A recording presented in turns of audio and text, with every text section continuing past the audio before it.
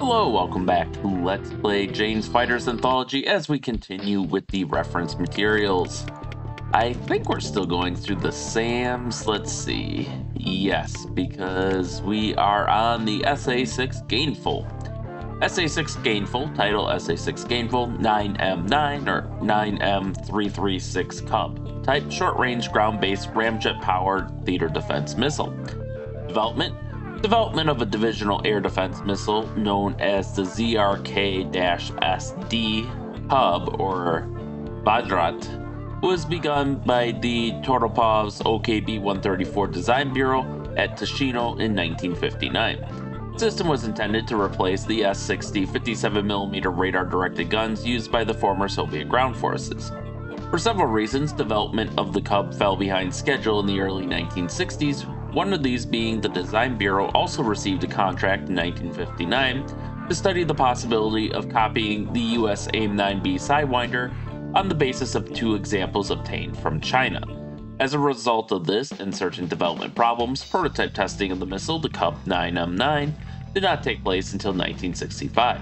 Initial deployment of trials units followed in 1967, but continuing problems prolonged the acceptance phase. In spite of the problems, the Kub system was first publicly seen in Moscow in November 1967 and it received the NATO designation SA 6 Gainful. Description The SA 6 is quite different from other Russian SAMs in that it has four long, slender tube air inlet ducts mounted mid body between the wings. At mid body, there are four clipped triangular movable wings for pitch and yaw control, and just forward of the jettisonable boat tail are four inline clipped delta fins with ailerons for roll control.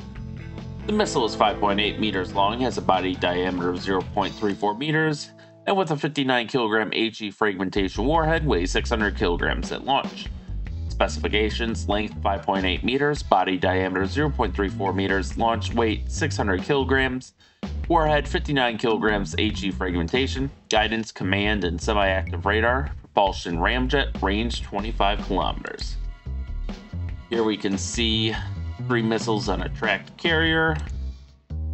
We have a missile being launched and another tracked carrier here.